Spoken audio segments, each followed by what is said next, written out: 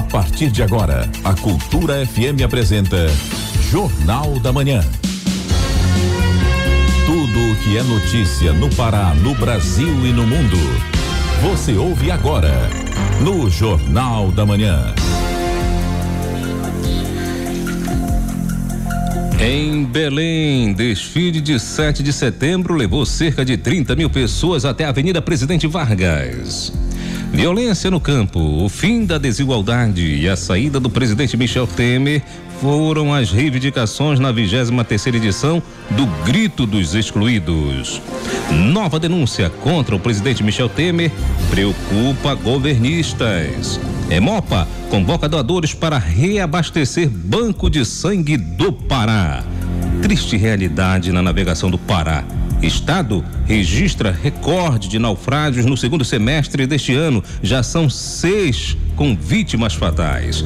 Hoje no JM teremos uma entrevista com a auditora fiscal Luísa Maria Pinto, supervisora do Imposto de Renda na Receita Federal, no Pará, que vai falar sobre a consulta ao quarto lote de restituição do Imposto de Renda 2017. 40 faculdades no Pará já tiveram as atividades suspensas. No esporte, Paysandu e América Mineiro jogam hoje pela Série B no Mangueirão. Pesquisa revela aumento no preço das passagens intermunicipais no feriado prolongado. E a dica de leitura do Esfera Literária de hoje é o primeiro trabalho do escritor Breno Torres, a obra de terror Pesadelos Infaustos. Sete horas, nove minutos, na Grande Belém. Muito bom dia para você que nos acompanha aqui na Cultura FM. Hoje, sexta-feira, 8 de setembro de 2017. Eu sou Erlan Ferreira e começa agora o Jornal da Manhã, ao vivo na sua 93,7 e também no portal cultura.com.br. Jornal da Manhã. Informação na sua sintonia. Uma multidão foi até as ruas do centro de Belém para assistir o tradicional desfile de 7 de setembro, que reuniu autoridades para celebrar o feriado da independência. Vamos saber como foi o desfile deste ano com o repórter Felipe Feitosa. 195 anos da data mais importante para o surgimento do Estado brasileiro. O 7 de setembro é o dia da independência e, como é tradição, foi celebrado nas principais cidades do país. Em Belém, o desfile levou cerca de 30 30 mil pessoas até a Avenida Presidente Vargas para cerca de duas horas de apresentações militares. O evento serve para relembrar o nascimento da nação brasileira, ressalta o secretário de Segurança Pública do Pará, Janô Jansen. O dia de hoje marca o nascimento de uma nação das mais poderosas do mundo, hoje das mais importantes no concerto das nações esse dia marca o nascimento dessa nação como independente. Os desfiles de 7 de setembro são uma grande oportunidade de aproximar as Forças Armadas da população para que a sociedade conheça o trabalho desenvolvido pelos militares. Destaca o general do Comando Militar do Norte, Carlos Barcelos. O Exército Brasileiro, a Marinha, a Aeronáutica são instituições que têm suas missões muito bem estabelecidas na nossa Constituição. É, é, gozam de uma credibilidade muito alta junto a seu povo, mas a gente precisa se conhecer melhor. O nosso povo precisa conhecer melhor as Forças Armadas que tem, que integram essa sociedade e que tem por missão a sua proteção e a sua defesa. Mais de 5 mil homens do Exército, Marinha, Força Aérea, Polícia, Corpo de Bombeiros, Guarda Municipal e outras entidades e órgãos sociais participaram dos desfiles. As bandas marciais marcaram presença e não poderia faltar o grito de ordem de cada pelotão. O público prestigiou o evento. Cerca de 30 mil pessoas assistiram à apresentação e teve gente que chegou bem cedo para ver a passagem dos militares. A aposentada Maria Olímpia fez questão de marcar presença. Eu gosto, acho muito bonito, eu admiro muito. O que representa essa data para a senhora? Ah, para mim é uma, uma, data muito importante. E no feriadão da independência foi dia de levar a família para ver de perto as Forças Armadas e mostrar para os mais novos uma imagem diferente dos militares, afirma o vigilante Marcos Santos. É simbólico, né, para meus filhos também, entendeu? É, eu acompanhei desde pequeno e, e agora eu trago eles para também tá. E o que você acha desse evento aqui? É importante, né, para a cultura nossa, né? Que mostra que não é só violência, não é que a nossa cidade é meio pesada, né? E mostra que não é só isso. No evento, além do público, autoridades políticas e militares assistiram ao espetáculo. O governador em exercício do estado, Zequinha Marinho, destaca que a data do 7 de setembro deve ser marcada pela união de todos por um país melhor. É um momento para a gente se unir a todos num sentimento mais patriótico. O Brasil, o Pará, todo mundo precisa disso. A gente precisa lutar muito para continuar não só essa liberdade, mas também a melhoria da qualidade de vida dessa gente que tanto necessita, que tanto precisa. Durante o desfile, um policial da cavalaria se desequilibrou e caiu enquanto passava com o um animal na avenida. Ele foi levado ao hospital. Felipe Feitosa, Rede Cultura de Rádio. A 23 terceira edição do Grito dos Excluídos levou mais de duas mil pessoas às ruas da capital paraense. Em pauta, mudanças na política e na sociedade. A reportagem de Felipe Feitosa.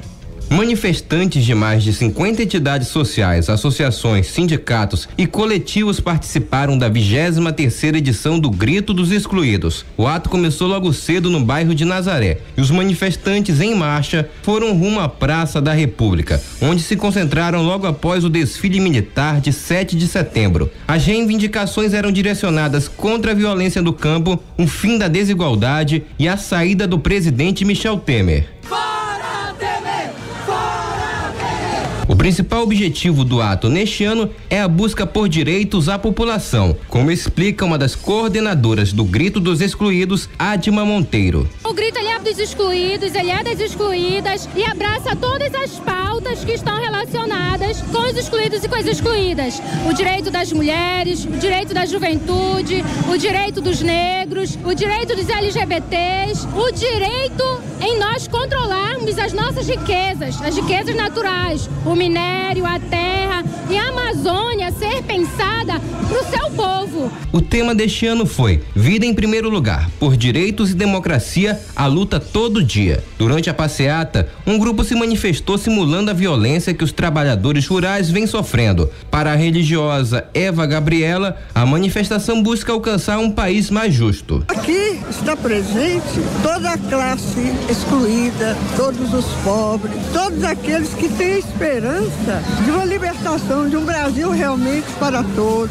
Não prevalecer apenas o direito dos grandes, das grandes empresas, dos poderosos. O estudante Lucas Cardoso foi um dos participantes da manifestação. Para ele, a sociedade precisa se mobilizar para cobrar mudança das autoridades políticas. É pior se a gente ficar em casa, sentado, de braços cruzados. Quando a gente vai lá, eu sei que pode não chamar a atenção deles, mas nós sabemos, nós que estamos aqui, que seria bem pior ficar em casa, sentado, de braços cruzados reivindicar os direitos, lutar, gritar, expor a nossa insatisfação com esse governo atual é muito melhor. Segundo a coordenação do ato, a 23 terceira edição do Grito dos Excluídos reuniu cerca de duas mil pessoas na capital. Felipe Feitosa, Rede Cultura de Rádio. Jornal da Manhã. Você é o primeiro a saber.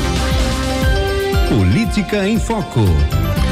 Delação de Lúcio Funaro pode atingir presidente Michel Temer e preocupa governistas. O repórter Yuri Hudson da agência Rádio Web tem as informações. A delação de Lúcio Funaro, apontado como operador do PMDB na Operação Lava Jato, foi homologada pelo ministro Edson Fachin do Supremo Tribunal Federal nesta semana. A notícia deixa governistas e oposição na expectativa de uma nova denúncia contra o presidente Michel Temer, mesmo com a reviravolta na delação da JBS ocorrida na segunda-feira. Isto porque há rumores de que Lúcio Funaro tenha entregue detalhes e apontado a ação de Temer e outros PMDBistas ligados ao presidente em um esquema de corrupção na Petrobras. Para Chico Alencar, do PSOL, a delação de Funaro promete ser bombástica. Nova denúncia contra Temer, nutrida pela delação de Funaro, tem que chegar a essa casa.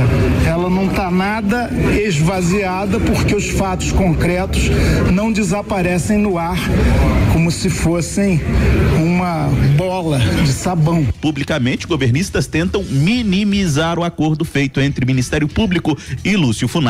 O vice-líder do governo, Darcísio Peronte, diz que diante de tantas trapalhadas, o procurador-geral Rodrigo Janot deveria fazer apenas duas coisas. Está na hora de Janot prender os dois irmãos Wesley. Está na hora também do Janot pedir demissão. Prisão imediata aos dois irmãos e demissão de Janot. Ele mesmo admitiu segunda-feira, no ato de sinceridade, que errou, que errou. Então ele se demita. O PMDB afirmou por nota que sempre recebeu doações legais e registradas na justiça e garante que não tem operadores para falar em nome do partido. Já o Palácio do Planalto afirmou que não se pronunciaria sobre o assunto. Agência Rádio Web de Brasília, Yuri Hudson. São 7 horas e 18 minutos. O Pará é notícia. Segundo os dados da Fundação Amazônia Paraense de Amparo à Pesquisa, só neste ano o cenário da exportação paraense já acumulou mais de 9 bilhões de dólares, um aumento de 42% em relação ao mesmo período do ano passado. Pará é o terceiro no ranking dos maiores estados exportadores. Ouça na reportagem de Yolanda Kinoshita. Há 15 anos, Dávila Pereira trabalha diretamente com a comercialização da polpa do açaí. O produto já ganhou o território nacional e agora a expectativa é de conquistar o mercado estrangeiro. Para praticamente todos os estados, principalmente Rio, São Paulo e Minas Gerais. A gente já trabalha com o mercado nacional, exportamos né, alguns anos atrás e agora a gente está querendo retomar mesmo é, essa parte de exportação. A expectativa mesmo agora é ganhar mercado internacional. Assim como a Dávila no Parque de Ciência e Tecnologia da Universidade Federal do Pará, 40 empresários participaram do programa de qualificação para exportação, o PIEX, uma rodada de negócios onde os participantes apresentam produtos e serviços, além de trocar experiências com profissionais da exportação. Detalha a coordenadora da ação, a analista Esther Pires Costa. A gente oferece essa rodada de negócios, a gente chama que é uma rodada que é a graduação das empresas. Depois da qualificação, depois da capacitação, elas participam dessa rodada, que é uma negociação internacional no sentido de promover os produtos dela no exterior. Segundo os dados do boletim da Fundação Amazônia Paraense de Amparo à Pesquisa, só neste ano o cenário da exportação paraense já acumulou mais de 9 bilhões de dólares, um aumento de 42% em relação ao mesmo período do ano passado. Giovana Pires, diretora de Estudo e Pesquisas Socioeconômicas da FAPESPA, explica que além do minério, que é o carro-chefe do estado, produtos como carne, pimenta, soja e óleo de dendê estão ganhando no mercado internacional. A soja ela tem crescido nesse acumulado de 5%. Também eu destacaria carnes desossadas, bovinas, que também começa a aparecer, é a sétima posição nas exportações do estado. A própria pimenta, onde ela tem um destaque, não é entre os 10, mas a gente tem uma exportação considerável. No acumulado 2017 já houve uma exportação de mais de 59 milhões, 9 mil toneladas preço bom. Então, o Estado ele tem uma perspectiva para os próximos anos de melhora aí no nosso cenário de exportação. Ano passado, o Pará voltou a ser o terceiro no ranking dos maiores estados exportadores, atrás apenas de Minas Gerais e Mato Grosso, posição que não ocupava desde 2015. De acordo com a FAPESPA, a previsão é que até 2020 o cenário seja de crescimento. Por isso, Rodrigo Jucá, que é representante de uma cooperativa da região de Tomeaçu, participou participou do programa de qualificação, o PIEX, para fechar novas parcerias. Iniciou-se com a exportação de pimenta do reino, mas hoje nós também exportamos polpa de frutas, geleias e estamos desenvolvendo uma linha nova de sorvete. Um evento desse porte sendo realizado aqui em Belém amplia nossa rede de contatos e aumenta muito mais ainda a nossa oportunidade de fecharmos novos negócios. No estado, é dentro do Parque de Ciência e Tecnologia que os empresários recebem todas as orientações para conquistar o mercado internacional explica o diretor-presidente do PCT, Antônio Abelém. Para ajudar os empresários a se preparar melhor para poder exportar. Nós estamos trazendo efetivamente demandantes de produtos do exterior, ou seja, pessoas que têm vários clientes no exterior que têm demandas de produtos aqui da região, né? E essas pessoas vão reunir com os empresários e vão identificar, olha, nós queremos assim, vocês têm nesse formato com essas condições. Se isso tiver feito, é fechado o negócio na hora. Senão, a empresa pode ter que ajustar o seu produto para fazer alguma coisa ou outra para que o negócio ocorra futuramente. A analista Esther Pires Costa explica de que forma os empresários podem participar do programa de qualificação para a exportação, o PIEX. Qualquer empresário que tenha interesse em se inserir no comércio exterior, em se qualificar para exportação e eventualmente participar de eventos como esse, como outros dezenas de eventos que a Apex Brasil promove, ele pode começar uh, se inscrevendo no programa de qualificação empresarial, que é o PayEx. O site da Apex Brasil você encontra todas as informações do PayEx e também aqui a equipe local da Fundação Guamá, eles estão aptos a passar qualquer informação para os empresários. E Holanda Kinoshita, Rede Cultura de Rádio.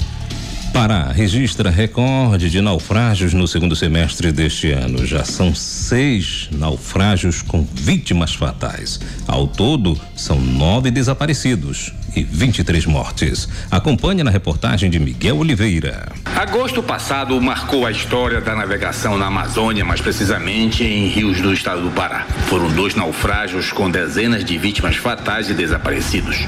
Dia 2 de agosto, um comboio de balsas conduzido por um empurrador da empresa Bertolini se chocou com o navio cargueiro Santos Mercosul. Dois tripulantes sobreviveram e nove estão desaparecidos. O empurrador ainda não foi içado à superfície, o que tem gerado protestos dos familiares das vítimas, mas o delegado fluvial da Marinha, capitão Ricardo Barbosa, justifica que a empresa tem prazo até 15 de setembro para apresentar o plano de reflutuação do empurrador. E até o dia 15 é o prazo que expira para que a empresa Bertolini entregue aqui para a capitania o seu plano de salvamento. No dia 17 de agosto, o barco Capitão Ribeiro, que saiu de Santarém com destino à Vitória do Xingu, naufragou na enseada de Porto de Mós, atingido por uma tromba d'água. 29 passageiros e tripulantes sobreviveram, mas foram registrados 23 mortos. No dia 27 de agosto, outro rebocador naufragou no rio Surubiú, em frente a Alenquer, atingido por uma tempestade. Todos os tripulantes sobreviveram. Mas setembro também engrossa as estatísticas de acidente no rio do Pará.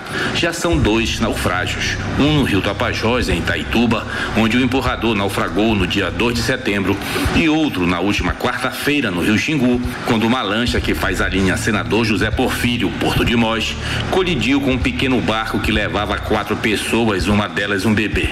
Os passageiros foram resgatados com vida pela própria lancha. O capitão Ricardo Barbosa diz que a Marinha faz campanhas de conscientização junto às populações ribeirinhas para tentar reduzir os acidentes na região. Nós procuramos sempre ir nas cidades, fazer palestras, principalmente nas escolas para crianças, né, para que a gente possa incutir essa semente né, da segurança da navegação para toda a população ribeirinha, para que a gente consiga aí, é, reduzir as, os incidentes. E isso tem dado um resultado muito bom. A gente tem, tem acompanhado aqui nas nossas estatísticas, né, de 2015 para cá, 2015 a gente teve o registro de 14 acidentes com vítimas aqui na nossa região. No ano passado já reduziu para 10 acidentes com vítimas e esse ano até agora em agosto nós estamos com seis acidentes com vítimas registrados, né?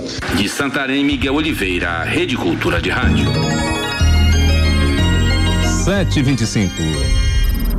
A seguir, no Jornal da Manhã. Hoje no Jornal da Manhã teremos uma entrevista com a auditora fiscal Luísa Maria Pinto, supervisora do Imposto de Renda na Receita Federal no Pará, que vai falar sobre a consulta ao quarto lote de restituição do Imposto de Renda 2017. E uma pesquisa revela aumento no preço das passagens intermunicipais no feriado prolongado. É daqui a pouco aqui na 93,7 a gente volta já. Jornal da Manhã. Minuto da Justiça. Meu nome é Paminola Gustavo. Hoje nós vamos falar de autorização de viagem. Viagem municipal, interestadual é, e nacional. Primeira coisa que você deve saber: se você tem uma criança até 12 anos, se for com o pai, ou com a mãe, ou com os dois, ou com avô, irmão, é tio, que seja ascendente e colateral, você não precisa de autorização. Se a viagem for nacional.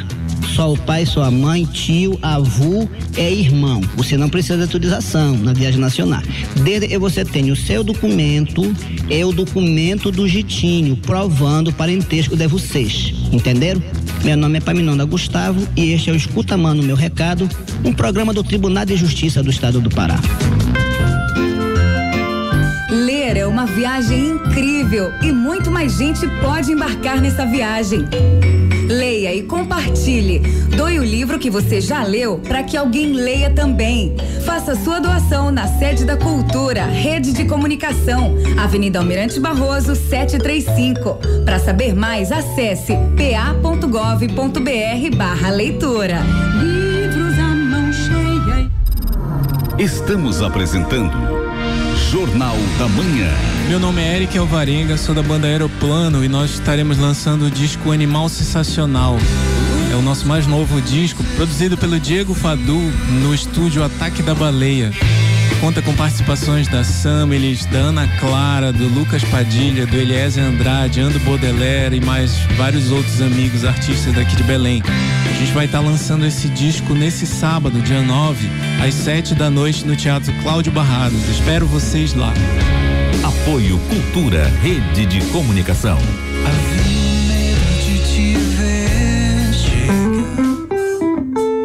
A sonoridade dos gêneros musicais paraenses em mini documentários.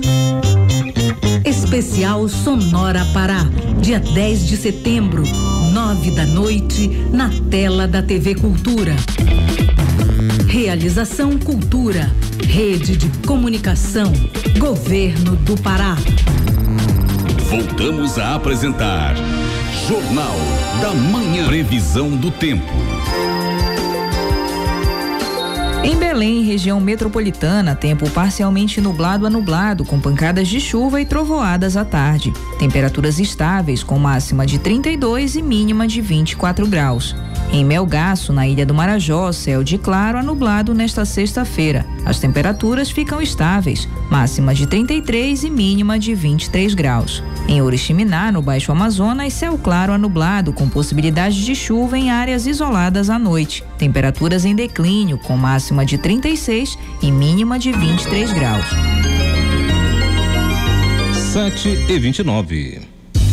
Jornal da Manhã. Entrevista. A Receita Federal abre consulta ao quarto lote de restituição do imposto de renda 2017, logo mais às 9 horas desta sexta-feira. Os contribuintes também vão poder conferir restituições residuais dos exercícios de 2008 a 2016. E para falar sobre como saber se a declaração já foi liberada e quem tem direito à restituição, nós conversamos agora, ao vivo, por telefone, com a auditora fiscal Luísa Maria Pinto, que é supervisora do imposto de renda na Receita Federal no Pará. Bom dia, Luísa. Muito obrigado pela participação aqui no Jornal da Manhã. Bom dia. Para nós também é uma satisfação levar essas informações aos contribuintes. Como você falou, no estado do Pará, a partir do dia 15 de setembro, estarão disponíveis em 48.212 contribuintes no valor total de 71 milhões 735 mil 830 reais a restituição deste quarto lote, ou seja, dia 15 de setembro, na conta informada pelo na conta que o contribuinte quando preencheu a sua declaração informou ou conta corrente ou poupança de sua titularidade, esse valor estará acreditado. O valor estará corrigido pela Selic de 4,34%. E é interessante esclarecer que quem tem conta salário, por cumprimento à resolução do Banco Central, nós não fazemos o crédito nessa conta salário, apenas conta corrente ou poupança. Certo. Muita gente fica em dúvida, então, se tem direito à restituição, porque após a declaração, alguns contribuintes têm imposto a pagar. O que define se a pessoa vai receber a restituição? É como você falou, quando o contribuinte transmite a declaração para a Receita, ele já informa o resultado final, Se é com imposto a pagar, neste caso ele já deve ter pago ou em uma ou em até oito contas a partir de abril esse valor que ele calculou e informou como saldo a pagar ou se tiver imposto a saldo a restituir, imposto a restituir, ele deve ficar aguardando e fazer a consulta na página da Receita na internet, através do portal ECAC, ele pode acompanhar, inclusive, o processamento da sua declaração. Ou, se ele não tiver certificado digital, ele pode gerar um código de acesso e é muito simples, rápido com esse código de acesso, ele pode ter informações sobre a atual situação da sua declaração, se já vai ser liberada neste lote ou se tem alguma pendência. As pendências ele mesmo pode solucionar em algumas situações através de uma declaração retificadora ou aguardar que a Receita Federal o chame para comprovar algumas informações. Certo. E a restituição ela vai estar disponível a partir do dia 15 de setembro. Existe um prazo para fazer o saque caso o contribuinte perca essa data? O que ele deve fazer? Sim, o, o, valor ficará acreditado nesta conta informada pelo contribuinte no prazo de um ano. Transcorrido esse prazo, o dinheiro volta para os cofres do Tesouro Nacional. Nesse caso, nessa situação, é necessário que o contribuinte consulte na página da Receita quais os, as providências que ele deve adotar para solicitar esse valor que estaria disponível em, em seu nome. Muito bem. Para os ouvintes que ligaram o rádio agora neste momento, então para nós encerrarmos a nossa conversa, Luísa, eu gostaria que você né, ressaltasse mais, reforçasse para os nossos ouvintes os canais de comunicação da Receita para que os ouvintes possam tirar dúvidas ou ter outras informações. Bem, o contribuinte nem precisa comparecer à Receita Federal. Ele deve acessar através da internet ou, ou usando o app, né? Ou seja, é, dispositivos móveis ou a próprio computador, tablet, a página da Receita, www.receita.fazenda.gov.br e acessando o ECAC, que é a Central de Atendimento ao Contribuinte na internet, ele pode obter informações sobre a situação se ele estará com o seu crédito disponível neste lote ou se estará ainda com é, disponível ah, é, em processamento. Em processamento que pode ser alguma pendência ou mesmo o seu, seu CPF, a sua declaração ainda não estará incluída neste lote. Nós sabemos que a Receita priorizou as pessoas pela lei prioridade que são os idosos portadores de moléstia grave nos primeiros lotes. E a partir daí nós vemos a Receita está considerando e disponibilizando a restituição para quem entregou no início do mês de março. E assim sucessivamente, tanto que no último lote que nós tivemos, foram contribuintes que haviam entregue a sua declaração e que não tinham prioridade e que fizeram essa entrega a partir de 20 de março. Neste lote, prioridades e contribuintes que entregaram a declaração a partir do dia 9 de abril. Nós conversamos, portanto, com Luísa Maria Pinto, que é supervisora do Imposto de Renda na Receita Federal no Pará, e que falou aí sobre a consulta ao quarto lote de restituição do imposto de renda que abre hoje a partir das 9 horas da manhã. Então a gente agradece a Luísa pela participação aqui no Jornal da Manhã. É, a Receita Federal também agradece por vocês levarem essa informação aos contribuintes. Ok. Um bom trabalho para você. São 7 horas e 36 minutos. Jornal da Manhã. Informação na sua sintonia. Pesquisa do Diese Pará revela um aumento no transporte para o feriado de 7 de setembro deste ano. Em comparação com o ano passado, o feriado prolongado em 2017 está custando para os consumidores cerca de 16% mais caro. Acompanhe na reportagem de Brenda Freitas. Viajar nesse feriadão prolongado da Semana da Pátria está bem mais caro para os consumidores. Isso foi comprovado por uma pesquisa do Diese feita esta semana, que comparou 2017 com os preços no mesmo mês de setembro do ano passado passado. No terminal rodoviário, a insatisfação era geral. Tá caro. Nos feriados é, aumenta mais. Às vezes gente vem com preço, vem com tantos, com valor, chega na hora é outro, e aí, complicado. Tá muito caro, tá muito, olha, não tá dando. Com essa crise, viajar direto não tá legal. Aumentou muito, antes teve um aumento acho que de três reais. Absurdo. É bom a gente denunciar. É abuso demais. O preço da passagem, eu acho que tá caro, né? Na verdade, como tudo tá no momento. Eu não, é mais os meus pais. Eu não costumo pegar, mas a gente já fez uma comparação de preço antes e agora e a gente pode perceber a diferença. Nessas épocas de feriado e também é, final de ano, isso aí, infelizmente, a gente já fica esperando por isso. De acordo com a pesquisa do DIESE, o transporte rodoviário intermunicipal de passageiros aumentou 16,61% com relação ao 7 de setembro do ano passado. Já os ônibus interestaduais estão 9,04% mais caros.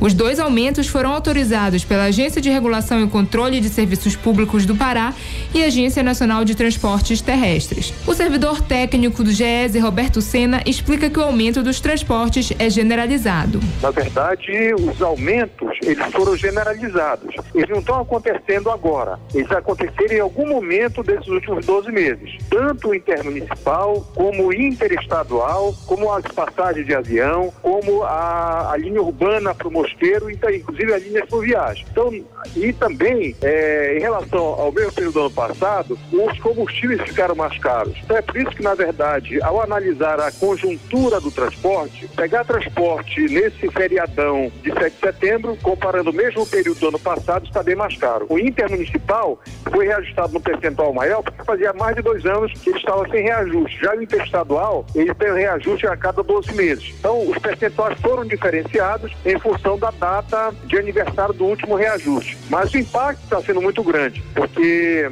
o deslocamento, às vezes, se dá com as famílias, né, e na medida que você teve o poder caiu em relação ao passado e as passagens estão mais caras, você tem maior dificuldade nessa locomoção. A pesquisa do Diese também ressaltou que a linha urbana para Mosqueiro apresentou alta. O aumento da tarifa foi de 14,94% em relação ao ano passado. Ela passou de 4,35 reais para 5 reais. O estudo do Diese mostrou que esses aumentos vêm acontecendo principalmente por conta do aumento do combustível, como afirma Roberto Sena. Uma das preocupações que nós tenhamos nesse exato momento é com a subida discriminal nos combustíveis. E isso pode levar com que o setor empresarial que cuida do transporte possa estar apresentando novas planilhas de reajustes, porque o diesel subiu forte. Somente agora, na primeira semana do mês de setembro, somente o diesel já subiu 5% e a gasolina subiu 10%. Isso quer dizer que se nós pegarmos todo ano ou a partir do último reajuste, os percentuais de reajuste dos combustíveis é um peso a mais no que tange a questão do transporte. Brenda Freitas, Rede Cultura de Rádio. Jornal da Manhã. Cotações do dia. Confira agora os indicadores econômicos do dia com Cássia Nascimento. O Ibovespa abre as negociações hoje em alta de 1,74%. O dólar está cotado a três reais e dez centavos e o euro vale três reais e setenta e um centavos. O ouro vale hoje cento e vinte e cinco reais o grama e o rendimento da nova poupança é de 0,50%. Cássia Nascimento, Rede Cultura de Rádio. 740. A seguir, no Jornal da Manhã. Daqui a pouco no esporte do Jornal da Manhã você vai conferir. Pai Sandu e América Mineiro jogam hoje pela Série B no Mangueirão. É daqui a pouco na 93,7. A gente volta já. Jornal da Manhã. Você é o primeiro a saber. CYD 233. 93,7 MHz. Rádio Cultura FM. Uma emissora da Rede Cultura de Comunicação. Fundação Paraense de Radiodifusão. Avenida Almirante Barroso 735, Belém, Pará, Amazônia, Brasil. Voltamos a apresentar Jornal da Manhã. Tábua das Marés. Em Belém, maré alta ao meio-dia e 38 e baixa às 8 e 13 da noite. Em Mosqueiro, maré alta às 11 e 32 da manhã e baixa às 6 e 56 da noite. Em Salinas, maré alta às 8 e 43 da manhã, baixa às 3 e 23 da tarde e alta novamente às 8 e 56 da noite. Em breves, maré baixa às 2h51 da tarde e alta às 7h34 da noite. No porto de Vila do Conde, maré alta ao meio-dia e 40 e baixa às 8h16 da noite. 7 e 41 Esporte. E vamos agora ao esporte no seu Jornal da Manhã e hoje tem Papão, Papão jogando contra o América Mineiro lá no Mangueirão pela Série B. Será que desta vez o Paysandu não vai decepcionar sua torcida? Vamos torcer, né? E o repórter Manuel Alves já está por aqui, vai conversar com a gente nesta manhã de sexta-feira. Bom dia, Manuel. Bom dia, Arlan Ferreira. Bom dia, ouvintes do Jornal da Manhã. Pois é, vamos falar sobre o Paysandu. O destaque para o Flamengo e Cruzeiro disputado ontem pela Copa do Brasil, como também o Clube do Remo que joga amanhã pela Série C do Brasileiro. Mas hoje nós vamos começar falando dos Jogos Estudantis Paraenses. Momento do Esporte Amador. Os Jogos Estudantis Paraenses entram hoje para o seu segundo dia na cidade de Castanhal, no Nordeste do estado. A competição é para estudantes de 15 a 17 anos e só vai terminar no domingo. O professor Jorge Paulo, do Núcleo de Esporte e Lazer da SEDUC, que promove e organiza o evento, fala sobre a diferença que existe entre os JEPs que foram disputados em Abaetetuba para os alunos de 12 a 14 anos e para esses JEPs de Castanhal, que são para quem tem de 15 a 17 anos de idade há uma diferença bem significativa da categoria A, 12 a 14 anos, para a categoria B, 15 a 17 anos. Enquanto na primeira faixa etária a característica é de participação, a segunda já apresenta valores a nível de esporte de rendimento. Jorge Paulo diz também como está o nível técnico das equipes do interior em relação às equipes da capital. Todos os municípios disputam em igual condição para serem os representantes do Estado nas disputas nacionais. Com a realização, os eventos no interior, a diferença de nível técnico do interior para as equipes de Belém está diminuindo significativamente. Giro pelo mundo da bola. Pela Copa do Brasil ontem, primeiro jogo da grande final entre Cruzeiro e Flamengo. Jogo de ontem no estádio Maracanã, no Rio de Janeiro. Flamengo 1, um, Cruzeiro também 1. Um. Paquetá para o Flamengo e Arrascaeta para o Cruzeiro. O jogo rendeu sete milhões trinta e nove mil duzentos e trinta reais com um público de cinquenta e seis mil cento e trinta e cinco torcedores. O jogo da volta será no dia 27 deste mês em Belo Horizonte. A participação dos clubes paraenses na rodada deste final de semana pelo Campeonato Brasileiro começa hoje com o Paysandu jogando às nove e meia da noite no Estádio Mangueirão contra o América Mineiro pela Série B. Esse jogo será dirigido pelo árbitro Francisco Carlos do Nascimento da Federação de Alagoas.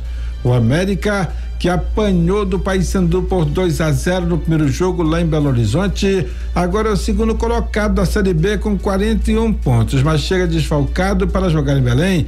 Não contará com o volante William, o zagueiro Messias e o meio avançado Rui que é o artilheiro do time com meia dúzia de gols marcados. Quanto ao atacante Edno, que jogou ano passado pelo Clube do Remo e que foi contratado pelo América Mineiro, ele não veio com a delegação. Pai Sandu. O técnico Marquinhos Santos tem quase o elenco inteiro do Paysandu à sua disposição para o jogo desta noite. Às 21h30 no estádio Mangueirão contra o América Mineiro. O quase aí é porque o Nando Carandina é o único que não vai poder jogar, uma vez que está suspenso pelo terceiro cartão amarelo.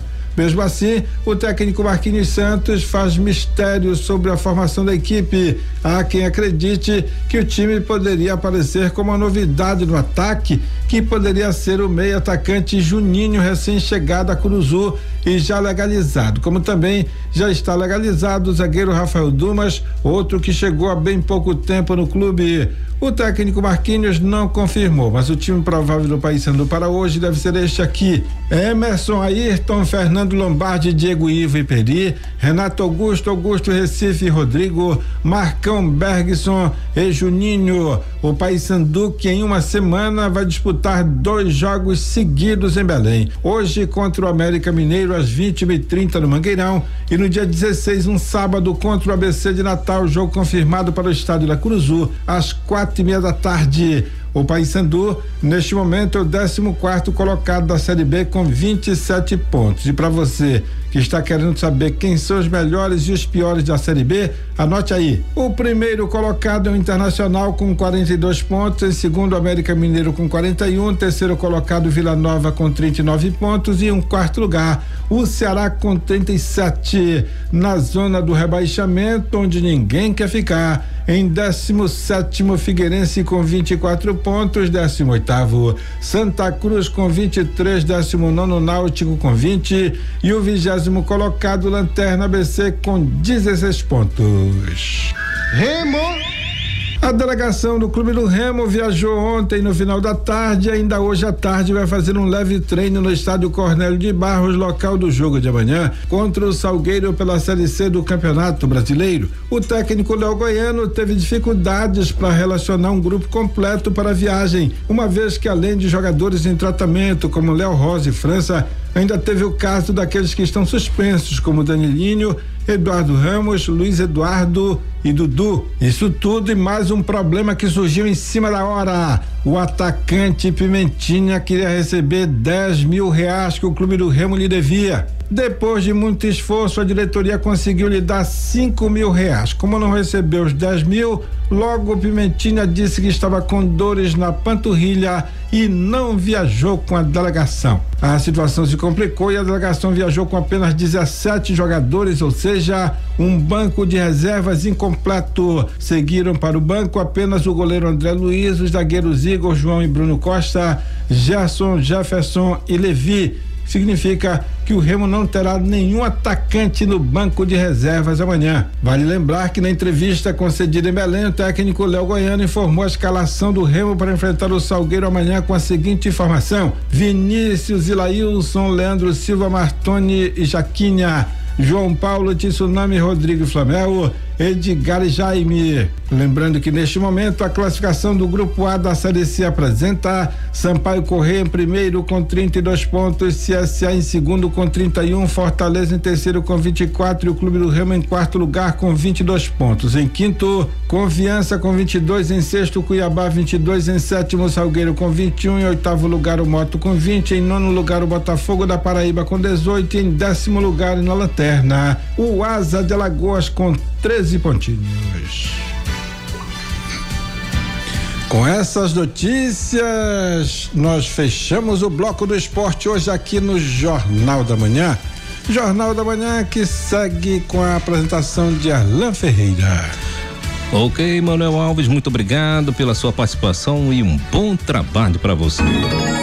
Em Belém, 749. A seguir, no Jornal da Manhã.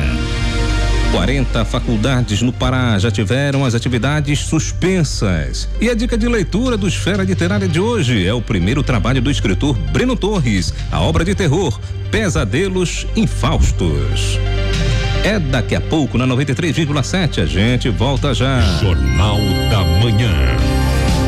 TV Cultura transmite as finais dos Jogos Estudantis Paraenses 2017, com show para animar a torcida nos intervalos. Dia 10 de setembro, direto do ginásio Loyola Passarinho em Castanhal, a partir das 8 da manhã. Transmissão dos Jogos Estudantis Paraenses na tela da TV Cultura. Realização Cultura, Rede de Comunicação, Governo do Pará. A sonoridade dos gêneros musicais paraenses em mini documentários. Especial Sonora Pará, dia 10 de setembro, nove da noite, na tela da TV Cultura.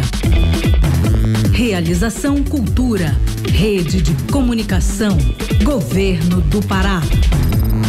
Você ouve Jornal da Manhã pelas rádios Cultura FM e Onda Tropical. Atenção produtores de audiovisual da Amazônia. Vem aí o Rio Contente Lab Norte. Evento com oficinas e masterclasses para desenvolvimento de projeto de séries para TV e longas metragens. De 26 a 29 de setembro no Cine Líbero Luchardo e Casa das Artes em Belém. Inscrições pelo site www.brave.tv.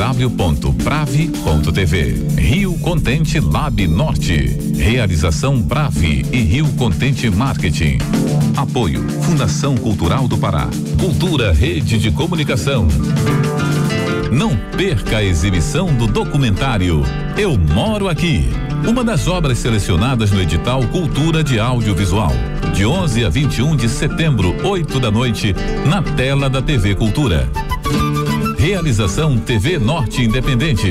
Patrocínio Agência Nacional do Cinema. Fundo Setorial do Audiovisual. Banco de Desenvolvimento do Extremo Sul. Cultura, Rede de Comunicação e Governo do Pará. Voltamos a apresentar Jornal da Manhã. Previsão do tempo. Em Tucuruí, na região sudeste do estado, sexta-feira com céu de claro a nublado. Temperaturas estáveis com máxima de 33 e mínima de 23 graus. Em Tomeaçu, no nordeste paraense, céu com poucas nuvens a nublado. As temperaturas permanecem estáveis nesta sexta, com máxima de 33 e mínima de 22 graus.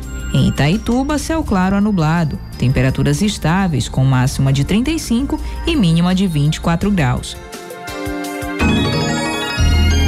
753. Jornal da Manhã. Informação na sua sintonia. 40 faculdades já tiveram as atividades suspensas aqui no Pará. Estudantes devem estar atentos para saber se as instituições estão credenciadas para oferecer os cursos, principalmente de educação à distância. Ouça na reportagem de Yolanda Quinochita.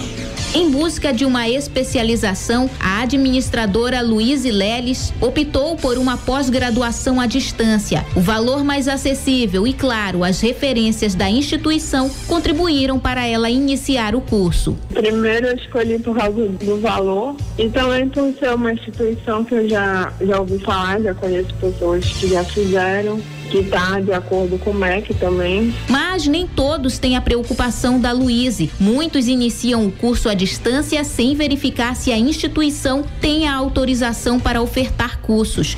Por isso, na última semana, a Justiça Federal suspendeu cursos de duas faculdades aqui no Pará. No total, já são 40 entidades com atividades suspensas, detalha o procurador do Ministério Público Federal, Felipe Silva. Nós divulgamos uma lista de mais de 40 instituições que já houve sentença no processo, já houve decisão final proibindo o funcionamento dessas 40 instituições. As suspensões mais recentes são as do Seminário Teológico da Assembleia de Deus, o CETAD, e a Faculdade Americana de Educação, a FLATEB. Ao CETAD, que ofertava cursos de bacharelado em teologia e pós-graduação à distância sem autorização do Ministério da Educação, além de validar cursos de uma outra instituição, a Justiça determinou a indenização no valor de dois mil reais aos estudantes lesados. Já a Flateb, que atua no oeste do Pará, estava autorizada somente a atuar na modalidade presencial em Fortaleza, no Ceará mas ofertava cursos de graduação e extensão. A faculdade deve ressarcir os alunos com todos os valores pagos, além de uma indenização de cinco mil reais a cada um e multa de cem mil reais. Segundo o procurador Felipe Silva, a situação é ainda mais preocupante no interior do estado, onde muitas entidades se aproveitam da carência de oferta de cursos. Com base nessa carência, algumas instituições se aproveitando desse nicho mercadológico estão, na prática, enganando seus alunos, porque elas fazem convênios irregulares com universidades que têm credenciamento e prestam informações falsas aos alunos de que este diploma que ele receberá, mesmo no ensino à distância proibido, vai ser válido no território nacional. Eles dizem faculdade X, A ou B, uma faculdade grande, vai chancelar o seu diploma. Só que esses contratos são ilegais, são irregulares. De acordo com o Censo de Educação Superior 2016, o número de ingressos continua estável nas instituições privadas. Só no ano passado, dos quase 3 milhões de alunos do ensino superior, 82,3% estavam inscritos na rede particular. Neste cenário, nos últimos dois anos, o ensino à distância cresceu 20%. O procurador Felipe Silva destaca ainda que os alunos devem ficar atentos e investigar a legalidade das instituições. Caso a atividade seja ilícita, denúncias devem ser feitas. É importante que as pessoas que tenham conhecimento ou que estudem nessas instituições, né? ou que tenham conhecimento de que elas estejam oferecendo cursos no interior do Pará, ou que tenha algum parente que esteja fazendo esses cursos, que denuncie ao Ministério Público que nós vamos pedir o cumprimento dessas decisões e a suspensão imediata com a aplicação de multa e indenização desses alunos que forem eventualmente prejudicados. E Holanda Quinochita, Rede Cultura de Rádio. Emopa convoca doadores para reabastecer banco de sangue do Estado. Com estoque baixo, mais de 200 hospitais da região metropolitana de Belém estão tendo dificuldades de atender pacientes que precisam da transfusão de sangue para sobreviver. Acompanhe na reportagem de Brenda Freitas e saiba como ajudar.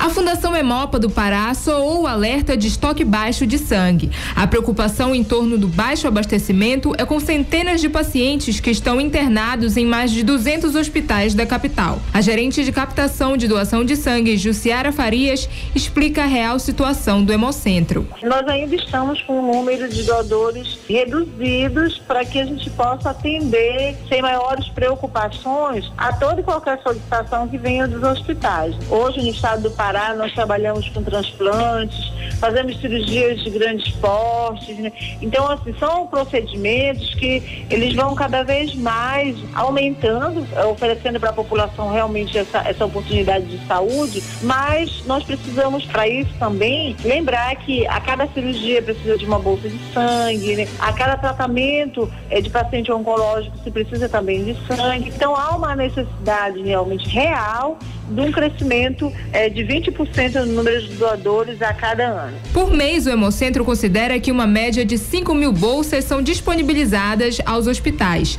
Para que essa demanda seja atendida, os doadores precisam ajudar. A gerente de captação do Hemopa informa que o Hemocentro, no momento, precisa de todos os tipos de sangue. Entretanto, alerta que todos os tipos negativos e também O positivo são as maiores necessidades. O O positivo, que é o sangue que tem uma, uma maior demanda de pacientes é, precisando, esse a gente está fazendo um apelo permanente né, para que as pessoas possam fazer essa doação e o Hemopa ter condições realmente de disponibilizar essa bolsa de sangue para esses pacientes que estão precisando de sangue do tipo O positivo, O negativo, o próprio A positivo também. Então, assim, o apelo ele vai para que essas pessoas que têm esse tipo de sangue possam realmente exercitar esse gesto voluntário. A campanha de sangue corintiano de abrangência nacional funciona de duas a três vezes por ano em todas as cidades do país. O representante da campanha no Pará, Alan Costa, relata que é importante que a população se mobilize em torno da vida, com o gesto solidário da doação de sangue. Não importa o time que você torça, o importante é que você seja solidário e venha doar sangue que ajuda a salvar vidas e abastecer os hemocentros. E o sentimento após realizar a doação, cara, é aquele que eu estou fazendo uma pequena parte para poder ajudar a uma pessoa, a uma família que esteja precisando justamente daquela bolsa de sangue.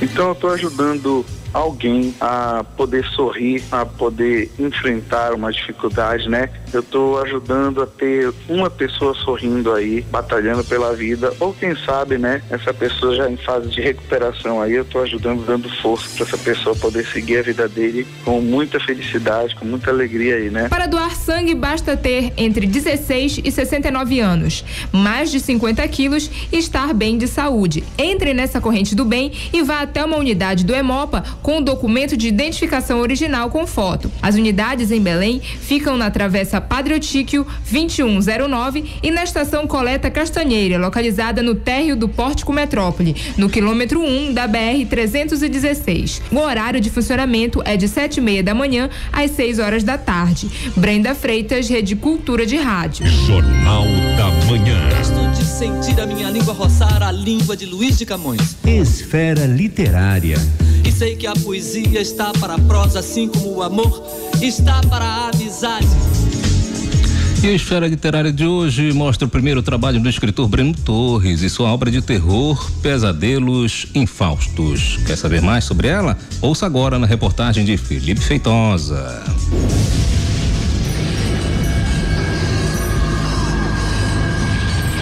Racionalidade assassina mordaz da loucura saudável, que é a criatividade na camada mais profunda de sua essência. Assassina que não só matou os que valorizaram sua loucura, como também o que de gigantesco provinha dela. Que assassinou os mais puros enredos imagináveis, as mais supremas doses de transgressão blasfêmica, os mais insólitos conteúdos mirabolantes, das mais doces irradiações impalpáveis às mais ácidas pululações enfesadas. O trecho que você ouviu faz parte da obra Pesadelos Infaustos. O livro se enquadra na chamada literatura de terror, com uma dose exata de suspense, drama e erotismo. Uma boa opção para quem gosta do gênero. Trata-se do primeiro trabalho do escritor paraense Breno Torres, um apanhado de dez contos com situações sobre criaturas fantásticas, geralmente ligadas a coisas ruins, como vampiros e bruxas, que passam por dramas humanos. O autor destaca mais detalhes do enredo. A gente tem desde vampiros clássicos até mesmo uh, musas gregas, a gente também tem bruxas, né? Então essas criaturas, em cada um dos seus enredos, elas estão procurando algum tipo de encontro, elas estão passando por um tipo de peregrinação, né? Esse inclusive era um dos antigos títulos do livro. Então, nessas peregrinações, elas passam por, digamos, bastante infaustos pesadelos, né? Elas passam por é, provações cruéis, elas passam por ah, momentos terríveis, elas passam por perdas, elas passam por horrores. E tudo isso misturado ali na, em todos os tipos de toques que o terror e o horror, o drama também podem dar, a fantasia também. Proposta de Pesadelos Infaustos é justamente conduzir o leitor às mais diversas experiências durante as narrativas. O professor Jonatas Amaral destaca a capacidade do autor em mesclar terror e fantasia em um mesmo trabalho. Como ele juntou essas duas coisas, eu passei a gostar bastante, até pela escrita também dele, que é um pouco rebuscada, mas também fácil de entender. Eu gostei bastante disso. A obra expõe sentimentos e sensações de maneira detalhada, e isso foi o que mais chamou a atenção da diagramadora Joseane Lopes. Ele é bem detalhista, tem alguns contos, gostei bastante. Pesadelos Infaustos pode ser encontrado nas livrarias da capital. Felipe Feitosa, Rede Cultura de Rádio. 8 horas e um minuto, Jornal da Manhã desta sexta-feira, 8 de setembro. Fica por aqui a apresentação Erlan Ferreira, no áudio Paulo Sérgio. Outras notícias a partir das 10 da manhã no Informe Cultura e também nas redes sociais, no Twitter, arroba Portal Cultura e no facebook.com barra jornalismo cultura. Um bom dia para você e um ótimo fim de semana. Jornal da Manhã. Uma realização da Central Cultura de Jornalismo. Cultura, rede de comunicação.